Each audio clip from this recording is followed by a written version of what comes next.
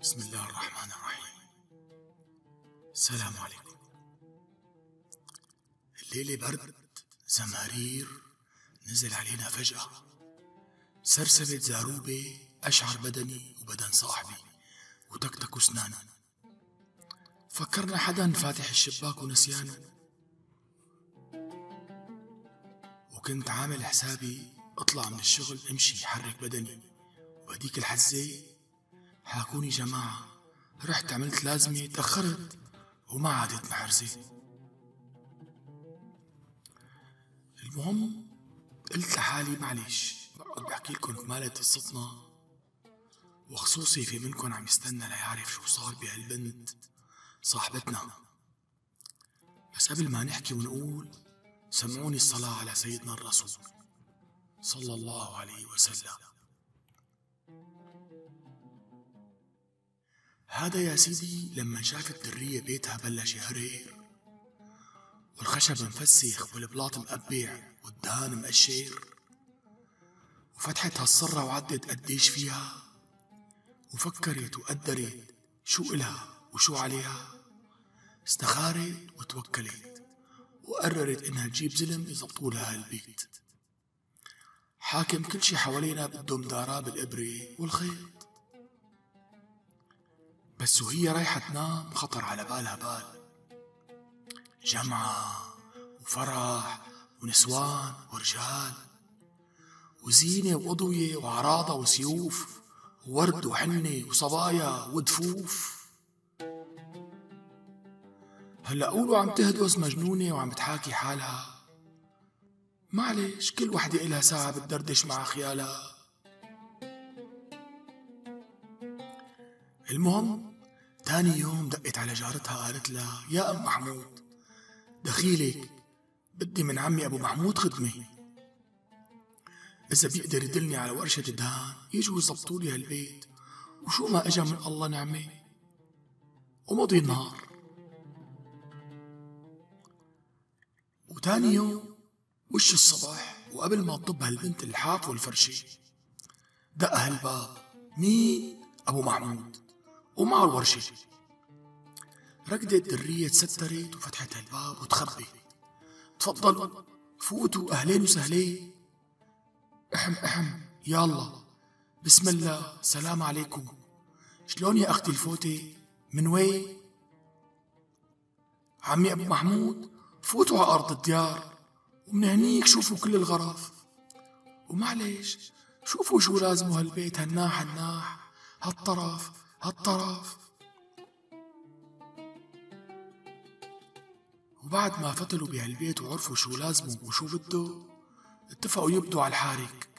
ومن تاني يوم رح ينزل الورشة المعلم أبو حدو. وهيك صار. جابوا العدة والسلالة وجوا الجماعة ونزلوا الشبصين والكلس والغري والكتيرة والبضاعة. وصاروا يجوا كل يوم من بكرة الصبح. يشتغلوا بهالقصر المعلم حدو والعمال يقعدوا هيك للعصر.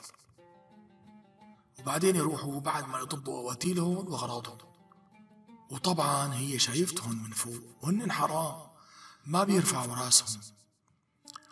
وكل يوم درية صارت تطبخ وتنفخ وتعمل واجبها وزيادة.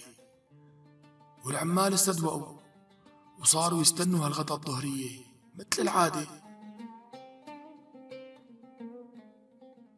صينية رايحة وصينية جاية شاي وزورات ومليسة ورز بحليب وقطايف ومعمول وهريسة. ومعلومكم الدهامة لما بفوتوا على بيت أهله بيتفننوا بالطبخ والجود والكرم. حاكم بيطلعوا بيقولوا هدول كرمة وهدول بخلة وهدول عدا وهذا اللي صار طلع هالصيت على درية. أنو طبخ وأنو رتابة وأنو نظافة شو هالمحشي وشو هالكبة وشو هالكنافة إيه.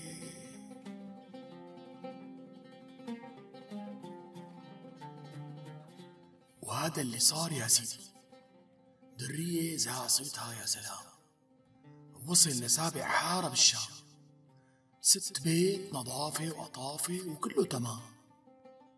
ولبين ما خلصت هالورشة وطبت عدتها وتيسرت وفزت درية عزلت وشطفت ومدت وتركنت. وهالبرادي كلهم انفكوا وانغسلوا وتركبوا وهالدواوين والكراسي تنجدت وتلبست والباقي نزل على الأبو. وصرت تفوت تشم ريحة الورد والياسمين. وتحتار وين بدك تطلع شمال ولا يمين؟ كله مرتب وكله على تقانينه حتى الزابوقة زبطتها والباقي كلياتنا عارفينه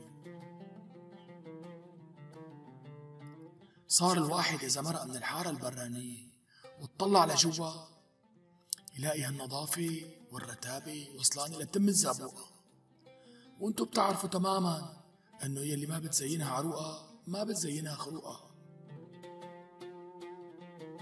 إيه؟ والله بيشها درية ما في منها بنت أصول ترباية وأداب وحشمة. وبنت ذكية ولعة فهماني مو هبلة وطشمة. ومن هون بلشت هالناس تسأل عنها. من السويقة من الجسماتية من القاعة. وهالنسوان بابا كل دقيقة وكل ساعة. يعطيك العافية انت درية. حابين نتعرف. دلونا عليك جماعة. حتى الجيران يلي ما كانوا يدقوا بابها إلا بالنادر صاروا يعملوا قعدات وينادوا لها. ويني؟ عاملين قعدة هيك على الحاضر. وصارت الصبحية عند الرية من أحلى وأجمل الصبحيات خصوصي إذا كانت بأرض الديار مع فنجان القهوة بين الزرعات.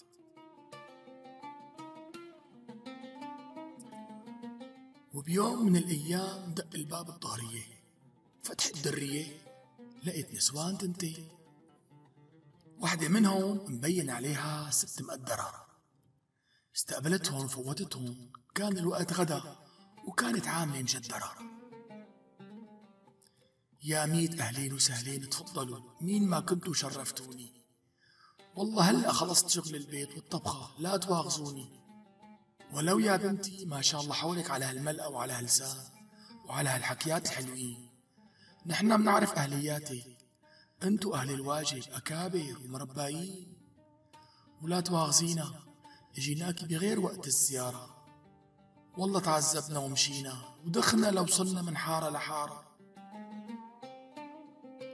ويلي جابنا صيتك يلي وصل لعنا والصيت بضوي مثل عين الشمس. من كتر ما حكولنا عنك حبيناكي والتحس عقلنا لحس. هون استحت درية واحمر وجهها وبرقت عيونها من الخجل. إيه حكياتها الست شي اشعر البدن كأنه عم تحكي غزل. اسمعي يا بنتي أنا اسمي منيرة وبينادولي الناس أم عزات عندي تسع أولاد سبع صبيان وبنتين وساكنين بالقنوات جاي بدي شوفك وكحل عيوني فيكي وبدي أطلب منك طلب لا ترديني. الله يرضى عليكي ورب بكرة بدبر بكرة وتصبحوا على خير.